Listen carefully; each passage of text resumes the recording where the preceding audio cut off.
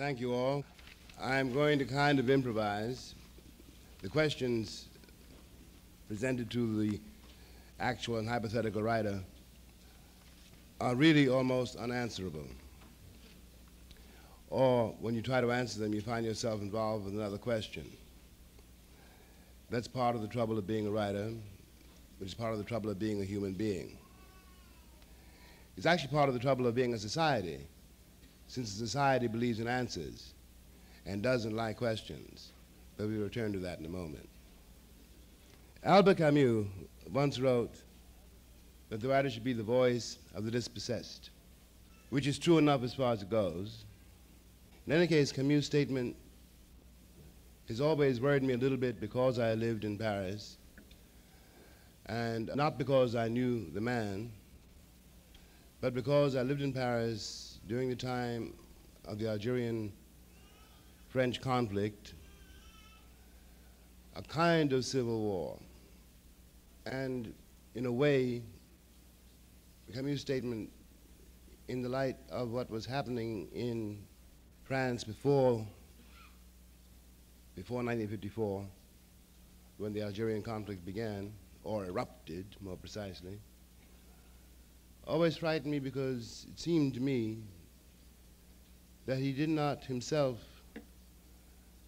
equal what he was saying.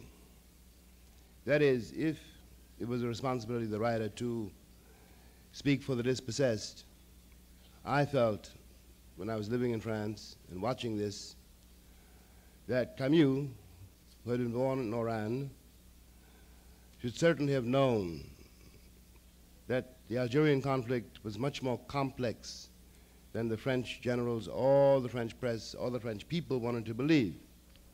And it struck me with great force that Camus, who talked about liberty in the case of Europeans and the existentialist right to be wrong, could only talk about justice in the case of Algeria, and he should certainly have known that whatever the Algerians were fighting the French for, it was not for yet another installment of French justice. That was not the point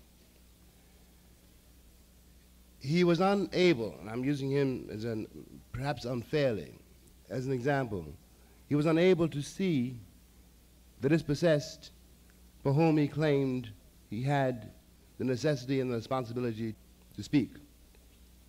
It was then that I began to realize something about the sense of reality which unites what we will call the white world.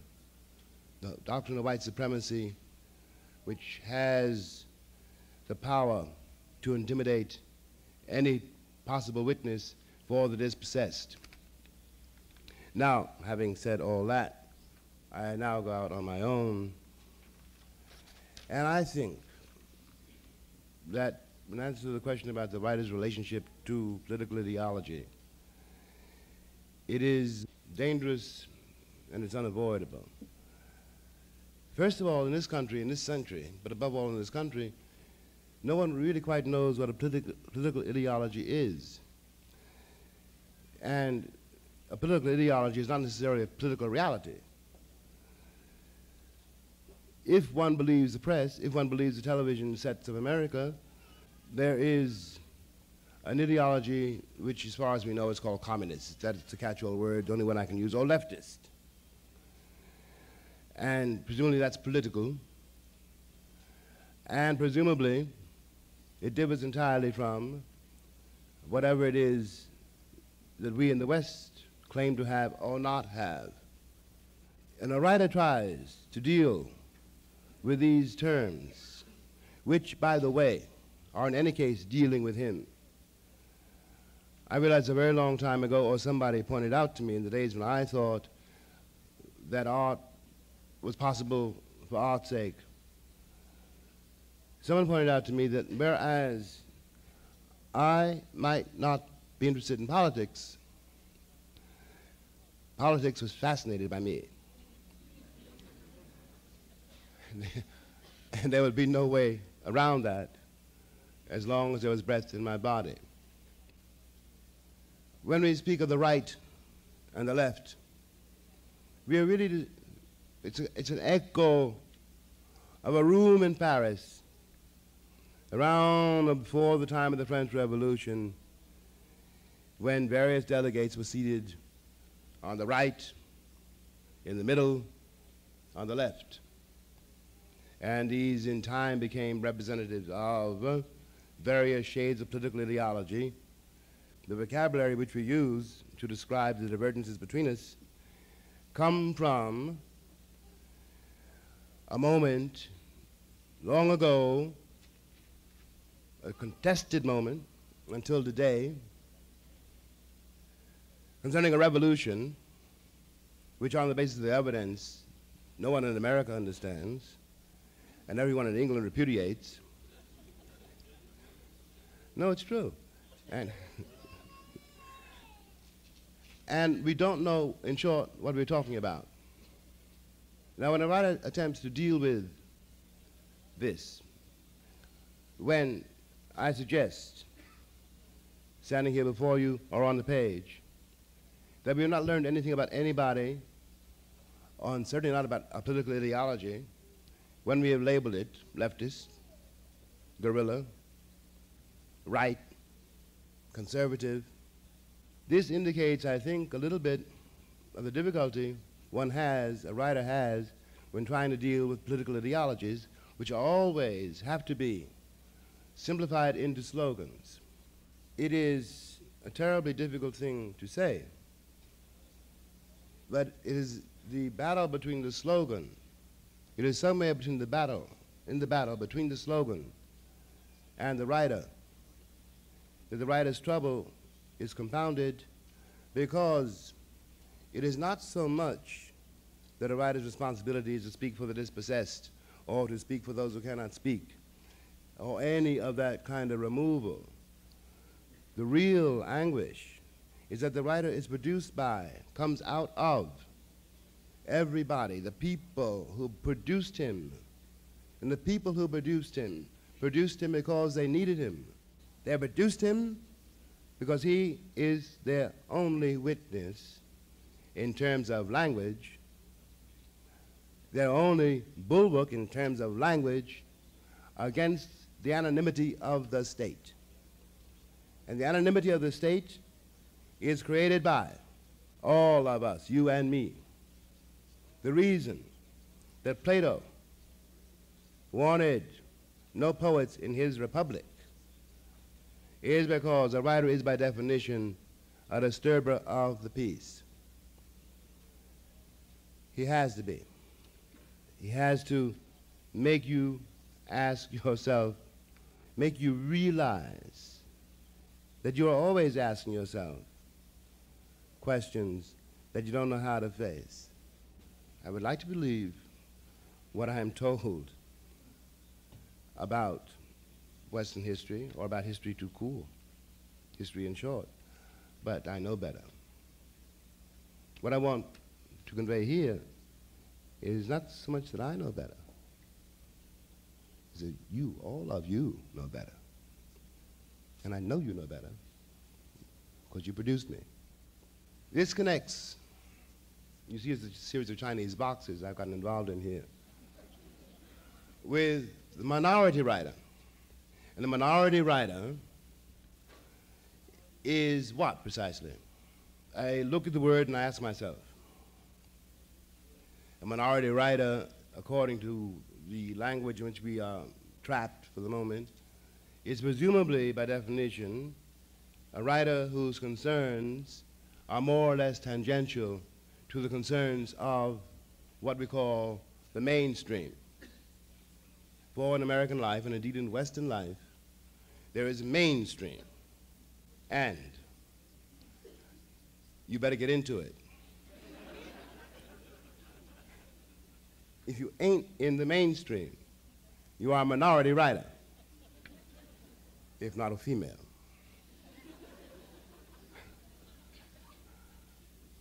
I'm not really trying to be sardonic, but I want you to think about the terms lying beneath, you know, the, the principle lying beneath these terms. For example, it is a real question whether or not the fate of Rabbit in John Updike's trilogy really obsesses most of the civilized world.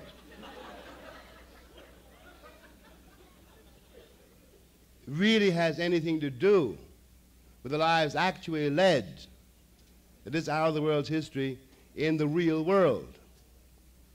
It is disastrous, I think, to suppose that most of the world, that world outside, which is not white, and by the way, when I say it is not white, I don't mean it's black.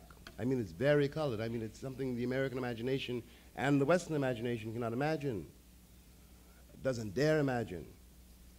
But the concerns of what we will put, describe brutally or note brutally as the American middle class are not the concerns of the world and cannot be the concerns of the future.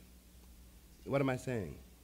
It seems to me that part of the question facing the Western world has to do with that peculiar divorce between the artist and the people who produce the artist.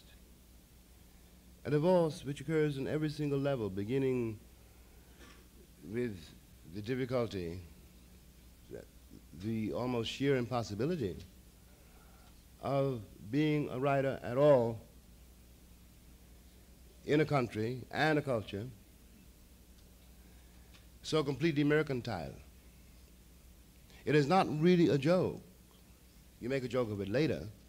But when you're very young and you, not being entirely a fool, are forced to realize that if you're going to live at all, if you're, going to, if you're not going to go under, if you're not going to betray everything, then you're going to be, you're going to have to be a writer. I don't think it's something anybody cho chooses. I don't think that um, it is so special a condition as the Western world makes it. But what does happen, and above all in this country, is when you begun to make the first steps in yourself to being reconciled to being a writer, you've also, at the very same moment, the very same gesture, taken upon yourself the necessity of being a maverick. So that people say, when you, you, you start scribbling, people ask you, when you're young and innocent, don't know no better than how to answer, you know, the way I, the way I answered, for example, was this, you ask me, what do you do? And I say, I'm a writer. And you all say to me, yeah, but what do you do? Finally, if you get past all that, when people stop saying to you finally get a job, after you say, I have a job. But that's very important. It is compounded, of course, in this country by the realities of sex, color, and the moral choices everyone in the society is forced to make.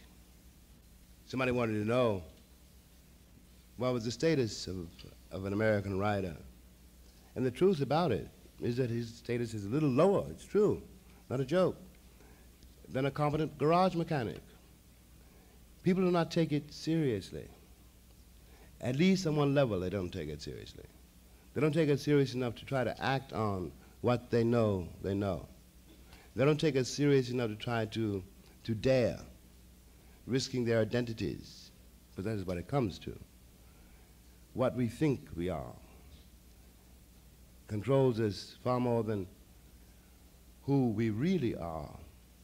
And that's why, that's why the writer is always, in a way, in such trouble.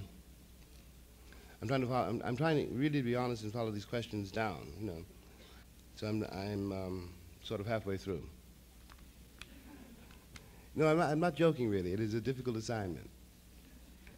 Because the next question is, how do you perceive your public? And that's a real question. All of these are real questions, by the way. If I'm joking about them, because I'm a little frightened. More than little. But how do you perceive your public is a very curious question. I can't say it's exactly a 20th century question, but it does come, it is one of the results, the language which one is forced to deal with, is one of the results of the Industrial Revolution. I put it that way because before then, at some point before then, the question was nothing, had nothing to do with one's public. It concerned one's, audi one's audience. And one's audience is a very different thing than one's public. An artist, by beginning to work, begins to create his audience. I can't really describe that further than that. There's an audience waiting for him or her, which can only begin to be activated when he or she begins to work. The artist may create an audience which he will feel, an audience which will nourish him, but he may never have a public. A public exists in the time of the artist's time, almost by definition. An audience is, in some sense, timeless, in the same sense that the artist hopes his work will be timeless. A public reacts to a personality. And God knows we should know that in this country by now. And personalities come and go like fast food. The trick for an artist is to trust his audience and to know that his audience trusts him. And he cannot cheat that invisible one or two or multitudes of people between him, between him, her, and that audience there is an unspoken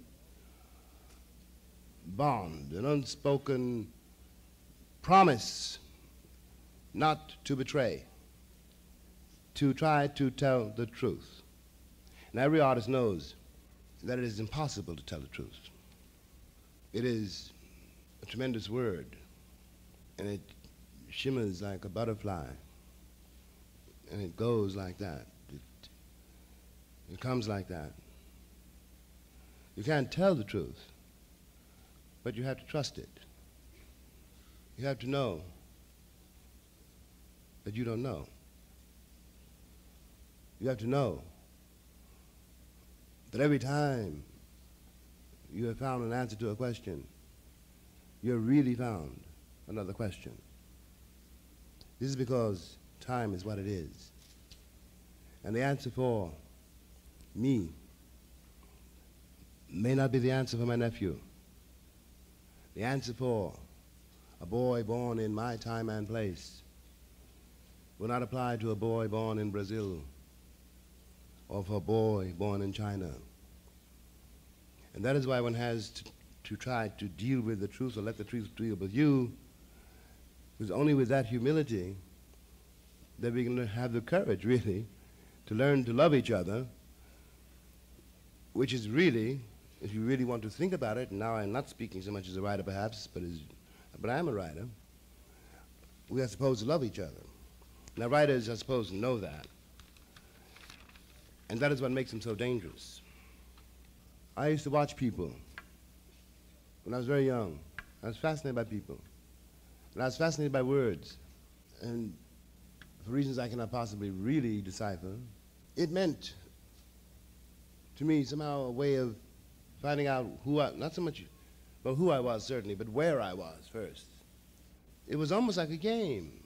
You know, I can still remember some of the uh, things I described, like the 1933 Plymouth, with, which had knee action wheels.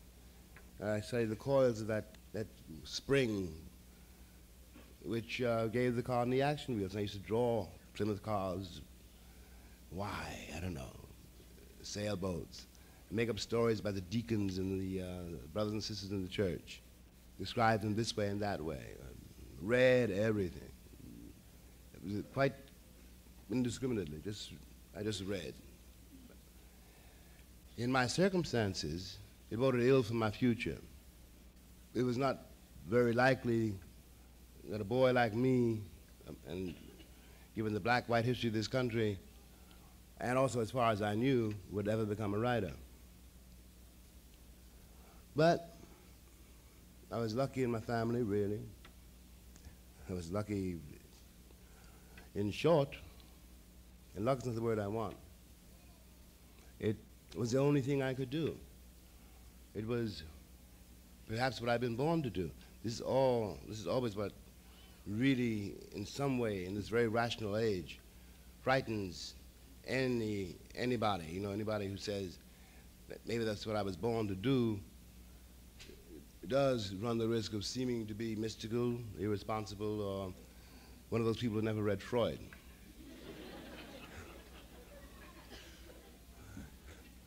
But I can hardly put it any other way. I had a lot to describe. You know, I was, I was in many ways, if you like, poverty stricken, but I was not poverty stricken in that way. There was a lot around me to look at, to deal with, to, um, to be terrified of, to learn from. Coming back now to the question of the quote unquote minority writer, the people I knew, the people I grew up with, the people in the church, the people in the street, the people in jail, the people who committed suicide, the people who turned into junkards, people who turned into junkies, people who turned into cops, the people who ended up in the post office, the people who ended up, you know, um, 14-year-old girl with a baby, and the father nowhere to be found, the music, the tambourine, the blues, nothing in all of that, nothing in all of that impressed me as being at all minor. It seemed to me then, and I know it now,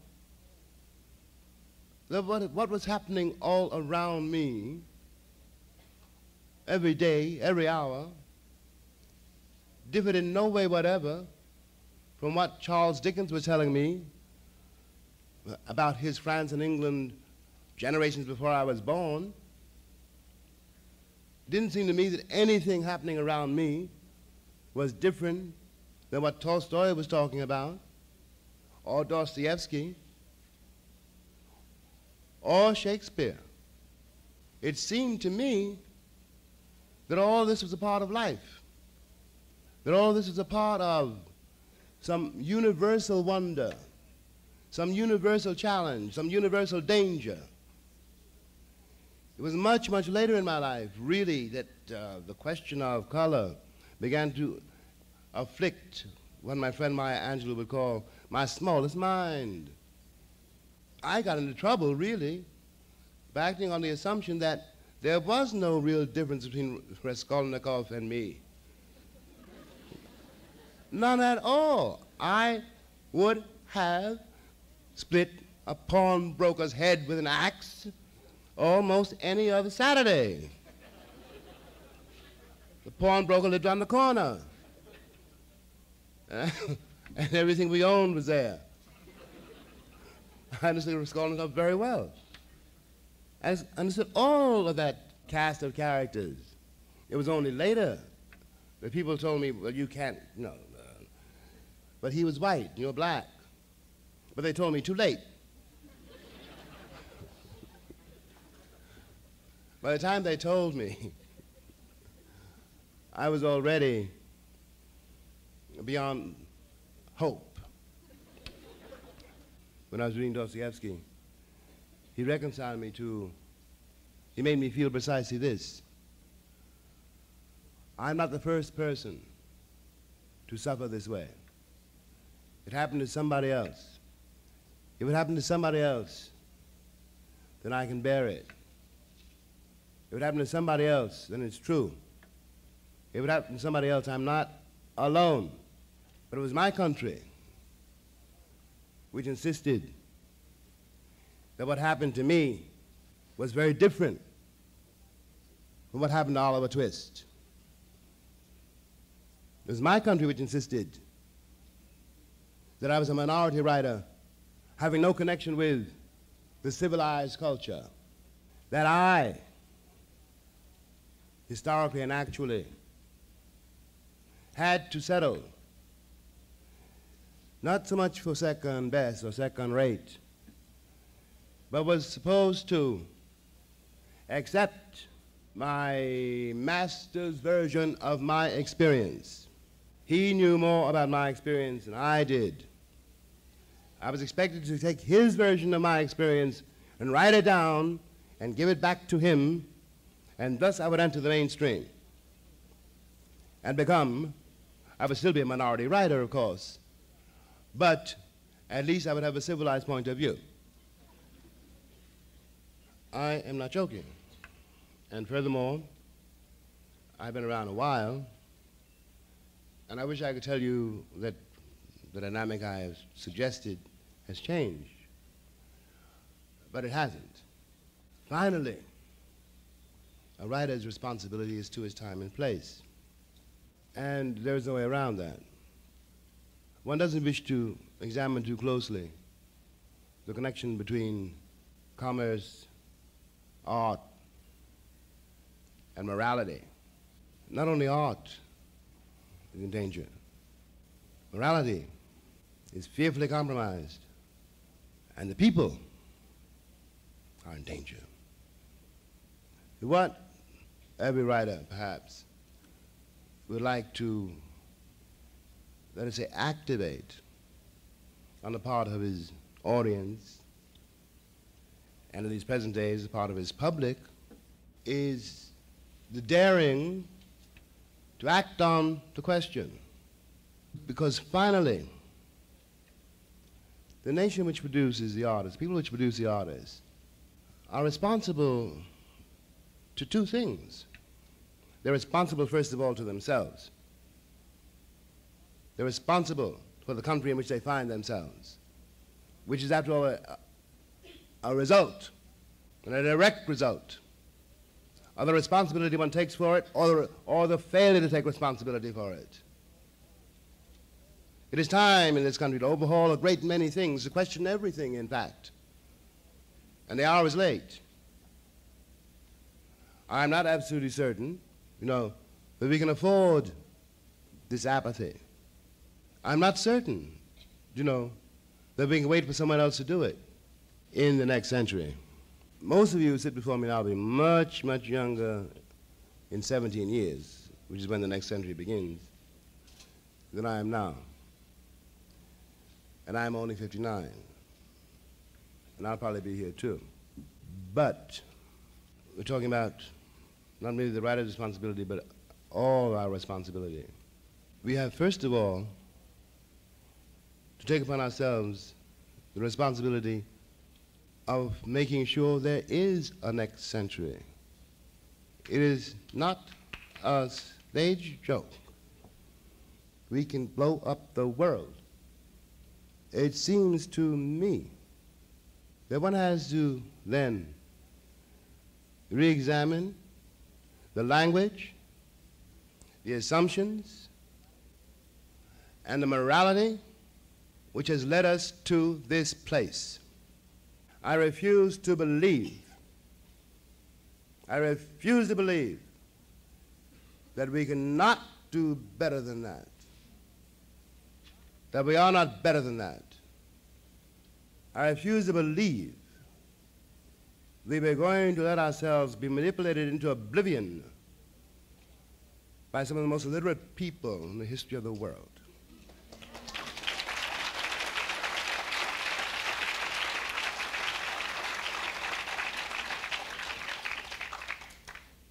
That is our responsibility.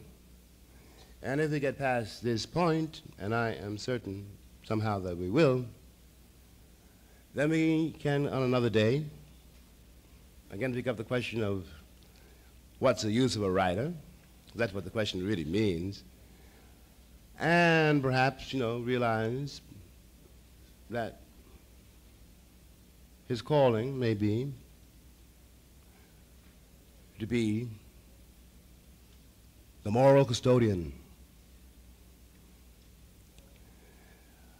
of the always evolving human race. Thank you.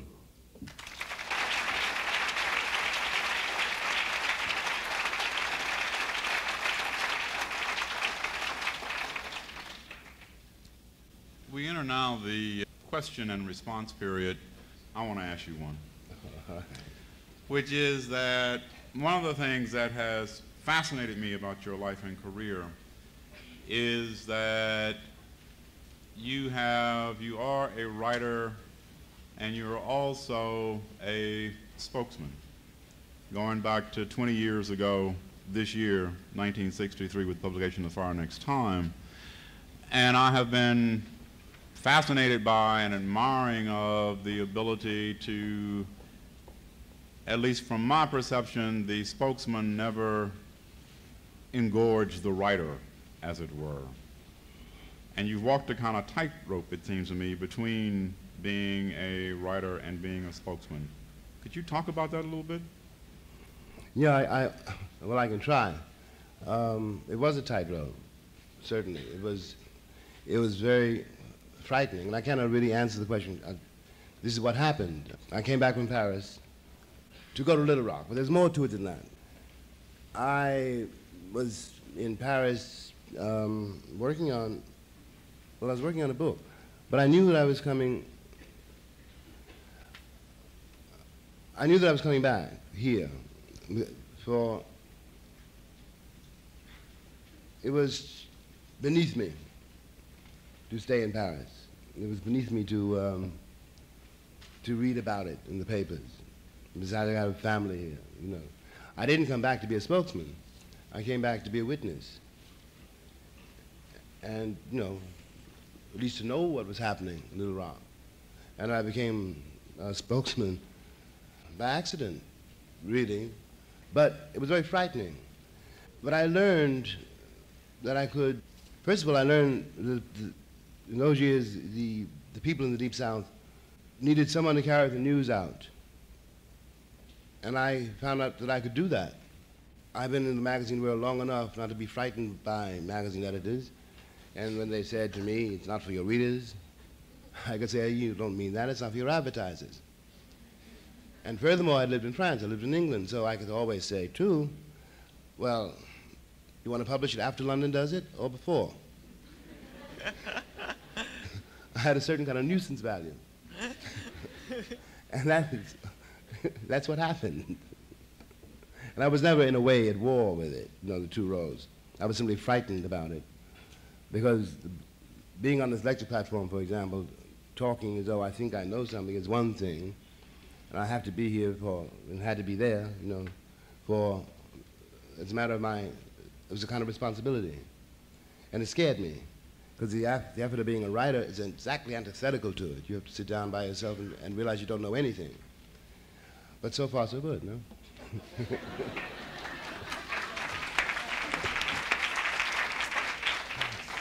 We have a question over here. Yes, and uh, your view of the writer as Oh, moral custodian. I was I was wondering how you respond, how you would respond to uh, charges of self-righteousness and the conflict between self-righteousness and righteousness by uh, by criticism given to us, created by criticism, I think. Well, I don't think that morality necessarily has anything to do with being self-righteous. And again, we are in trouble with the language. When, I talk, when I talk about morality, I'm not talking about any church or any member of Congress.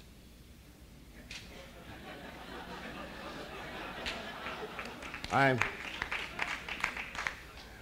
I am talking about what I conceive of as the ultimate necessity of the human being to treat other people as human.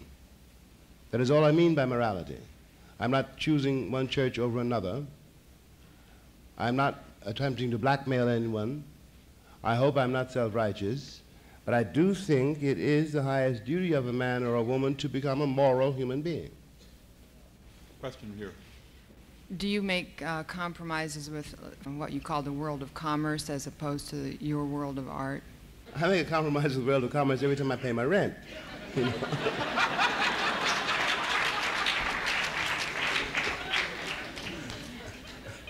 that answers your question. But you don't compromise in what you write about for as opposed to what people might want you to write about or Well, you can't really do that, really. You know, that's um, if you do that, you um, You can't, you can't really do that. I mean, you can try, you know, and you, you know, you can. but you can't really do that, no.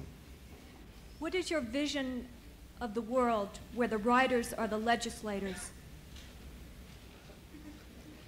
What is my vision of the world where the writers are the legislators? I don't think, you know, I'm not, I'm not making any grandiose claims for being a writer. I, could, I couldn't run a gas station, you know. I think that's a reference to uh, Joyce's quote about writers are the artists, is the unacknowledged legislature of the world. It's a grandiose statement, and um, there's a level in which I can see the truth of it, but I certainly cannot live by that. You know, I don't think I would have to, I would break that down. I certainly cannot, you know, uh, disseminate it. I think it's a romantic view and an inflated view of the role of an artist. I think that an artist teaches you, somebody put it to me, uh, leads you back to reality again. It can make you see, as though for the first time, something you've been seeing all your life. And in that sense, you know, an artist is very, very powerful.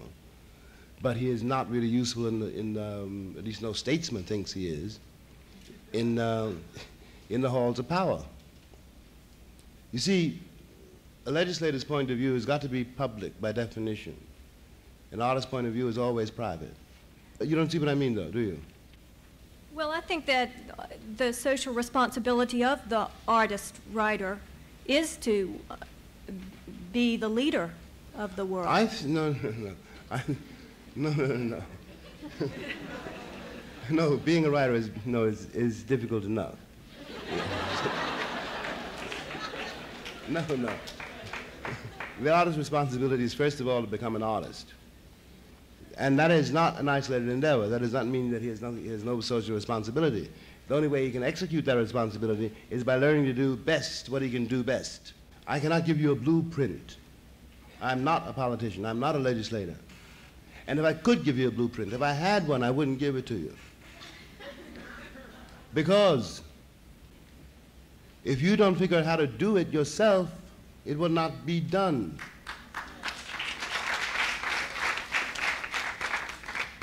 It is you, the people, who have to be the leaders. This is, the, this is, this is where you miss my point.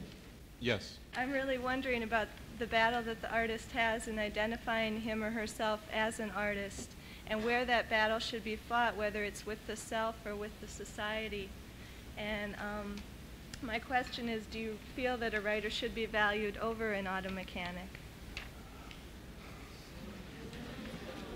Do I feel that a writer should be valued over an auto mechanic? No, that is not exactly what I meant to say. I was talking about, no, I don't. No, I don't. But I was talking about the, um, the presumptions of this so-called classless society, you know. I was talking really, I was suggesting, uh, trying to suggest, I was being a little flip. I was trying to suggest really the loneliness of the mechanic and the loneliness of the writer, you know. There's something they're, bo- they're both in false positions. That's what I was trying to say. Um, you speak about writers as moral custodians and moralists, and also that they have a social responsibility. Um, and it seems obvious that when you write that you have something that you want to say, that you feel something's right and that something's wrong. Do you feel that through your writing that you've changed anything? No, I don't think I've changed anything. No, not at all. Uh, I wish I could say yes, but no, I don't, I I don't mean, think. by people reading your books, do you think that they're, they've elevated their consciousness in some way, or that they've that you've achieved something by getting them to read what you have to say? I know what you mean. I know, I know what you're asking me. It's not a question I can easily answer because I, I, you asked me if I think I've changed anything. No, I don't think so. But then on the other hand, I wouldn't know. And I think I'll never know. But if it changes something in you, you know, then that's what it's about. You see what I mean? Well, that's what I'm. Yeah, that's what I'm referring Yeah. to. Well, you see, I won't know that, but you have to know that. You have to know that, and I have to trust it. You see what I mean? To the left? I would like to ask you, in one of your books, I believe you mentioned uh, a statement saying that the world was white, but it will never be white again. I can't recall the book. But what did you mean by that specifically? Uh, what I meant by that was almost what I said. That's, I think that's the end of, that's, that's the essay about the Swiss village. That's Stranger in the Village, I think. I'm pretty sure that's right. And I said, I was saying that comparing the village where I was in a village where um, they'd never seen a black man before. And they to come and, you know, rub their, rub their hands in my skin to see if it rubbed off and tussle, you know, try to do, do things to my hair, which uh, I didn't like. but I was trying to make a comparison between the village in which I found myself, where they really had never seen a black man before, and the place in which I was, you know, was come, came, the place in which I was born, where they had seen me for 400 years. And I was trying to suggest that the innocence of that village was not possible for, for Americans in any way whatever, and that the world America was, was facing would never be white again. Thank you. Yes.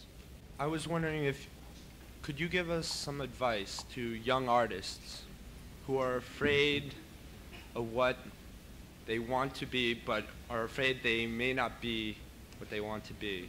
They cannot become what they want to be. I- Why don't you join the club?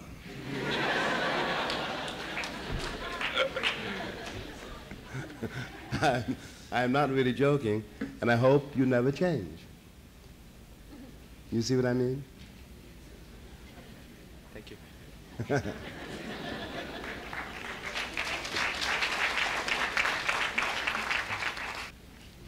Mr. Baldwin, how does a novelist or the writer, as the moral custodian, write about sin using grace without sounding righteous? Well, first of all, I'm not sure when I, hear your question. I'm not quite sure you can do it. I'm not quite sure I believe or see so clearly the division between grace and sin. I think that may be a more difficult and more private and more mysterious matter than the language would lead us to believe. We're all sacred. We're all doomed. If you see what I mean. I known some ladies, some prostitutes who were in a state of grace. I know some holy people who were in a state of sin, to put it mildly.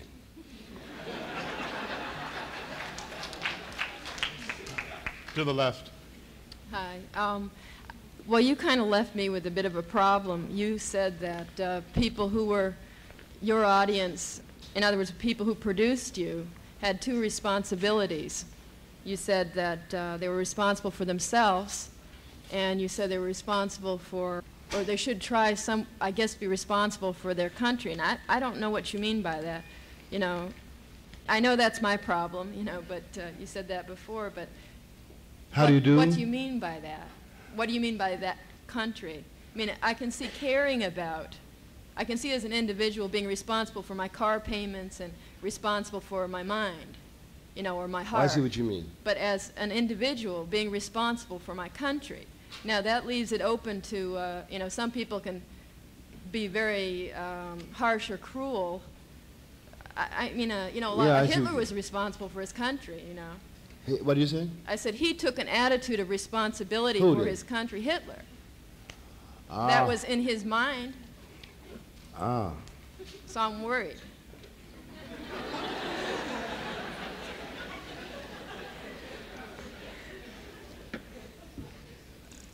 No, that is not quite. That is not quite what I had in mind. No, no, no, no, no. When I said I was thinking about myself and my own, my own direct antecedents, responsible for one's country. And no, I, I, I suppose it sounds grandiose, but in one way or another, you are in any case, whether you either know it or you don't know it. In the case, in my own case, I was making a claim coming out of my antecedents, uh, speaking as um, the grandson of a slave, which is what I am. And I say responsible for my country because I didn't intend to be driven out of it, because my father's father's father's fathers paid for it. And whatever happens in this country affects me. There's no way for me to escape it. You know, that is what I mean. And I think that's true for, I think that's in principle true for everybody. You know, and when you say Hitler was responsible for his country, you should turn, turn the coin over and ask yourself where everybody else was. Yeah. You see what I mean? Well- I'm saying, I'm, all I'm really saying is you cannot sign a separate peace. Do you see what I mean by that? No. I said you cannot sign a separate peace. If I'm in trouble, you are too. Well, it seems that if you say that to me, the first thing I'd think of doing would be going out and joining an organization. Why? And I feel like that's a cop-out. Why? I don't know. Well, who's responsible? know, You, are, the- you are at the moment. Well, all I can be responsible is for what I have the wisdom to. Keep on keeping on. I'm not asking, you know, that's, that's exactly what it, all anyone can do. I'm not asking you to join anything. I know you're not. but I'm, I'm saying that, you know, being of uh, an average mind, that's what would pop into my head. I should uh, join the nuclear No. freeze or do this or, you know. Well, but then the problem is, okay, if, if I join the nuclear freeze and I don't give a damn about what happens to the person next door to me, you know, then what kind of a person am I? And that's the, Well, you seem to be getting the point. Okay, I have this ques- question written down. Um, I've been preoccupied with what it means to be writing and thinking under threat of nuclear annihilation. There was a time when I told myself I was writing, thinking, even living in order to redeem my past, make of my life a work of art, and creatively usher in a future. And I'm having a hard time holding on to this sense of purpose in the face of annihilation of the human race. And I want to know, how do you hold on to your sense of purpose? I find it, I find it hard to answer because I'm much older than you, first of all. So, so it's not really, for me, it's not really a question. I could say, you know, and it would be true, that the world which is coming, which, which belongs to you, I believe in that. I believe in you. I don't see how my generation can play it any other way. I think one has to be concerned. I think we are responsible for the world which we are leaving you. You see what I mean? Keep the faith. It's all I can tell you. You have, you have after, you may not know it, but we have the power to do something about it. You cannot pretend. We cannot pretend we don't. We cannot, this is no- this is not the moment to despair. Thank you. In the back? I'd like to ask you a question about humility and heroism. It seems as though throughout the course of your lecture and subsequent questions that people have been using the phrase moral custodian an awful lot. And it seems to connote uh, an action of cleaning up, so to speak. But yet it seems to me in the works of yours that I've read and studied that those characters that are heroic or the most noble don't aspire to, to any positions of leadership. They're not, they don't actively or deliberately try to change anything or to clean anything or anybody up. Their nobility, it seems to me, seems to be just in a basic human dignity, whether it's embodied in suffering or generosity or the act of love. And if those are the kinds of people, whether man or woman, any, any type of character, that comprise your heroes, how has it affected you as a writer, being private and sharing your private thoughts, and yet having to be public and maybe not always in the position to exercise or to show, to show those kinds of qualities or be given the chance to show those qualities that your heroes have? It's a very, I, oh, I think I hear your question. When I say, when I say moral custodian, I was speaking in terms of, I was speaking in terms of a long past and, and a long future. Maybe custodian was not, was not exactly the word I want. I meant in the sense of um, steward. Maybe I should have said witness, which might have been a clearer word.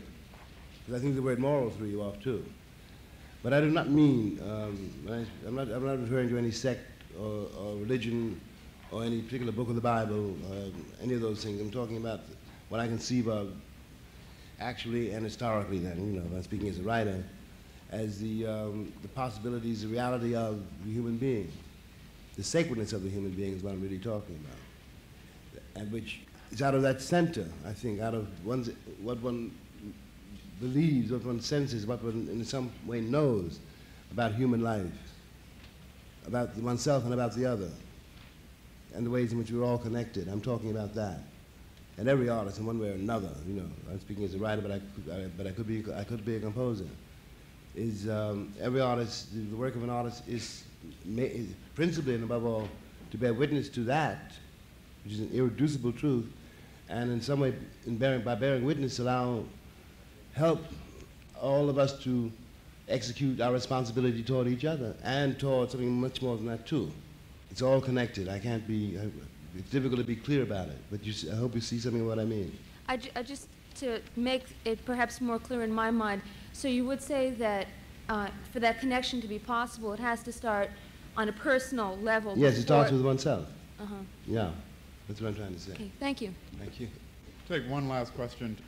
If uh, the artist is supposed to look after us or morally, oh well, what I, what I heard you saying was that if artists are moral custodians, they're somehow privy to information other people don't have, or Oh no no no no no no no. they're no. somehow better. That was the Oh, no, feeling no, I no, got. no, no, no. I do not mean that at all. I do not mean that at all. I, I said custodian. I, I could have said, as I said, steward. And I said moral. I'm, why is a writer, in why is an artist always in trouble? In every society we've ever heard of. It's because, not because he, he, not because he hates the people, and not because he thinks he's better than they are, but because he challenges something in them to do something they know they can do and don't want to do, are afraid to do because they, it will make them lonely. They will be, uh, they will be anathema. This is what Ibsen is all about. What is an enemy of the people about, for example? It is not because Ibsen was better than the people in that town who were afraid to declare a plague because they would lose money. What is all art about? What is Picasso's Guernica about? It's not because he thought he was better than the Spaniards who were being bombed out of existence by uh, the rehearsal of the Third Reich. But in the act of painting Guernica, which he kept with him, which he kept in France, and would not allow to go to Spain until Franco was dead, that is being, that is as close as I can come to what I mean by being a moral custodian. It does not mean that Picasso thought he was better. It doesn't mean that I think I'm better. It means that, it means that I'm, I have to try to bear witness to what I know you know. If that were not, if that were not so, then, no, then the writer wouldn't be in trouble. Not because I know something different, it's because I know exactly what you know. And you know I know it. You see what I mean? Does it take an artist to do that? That depends on you.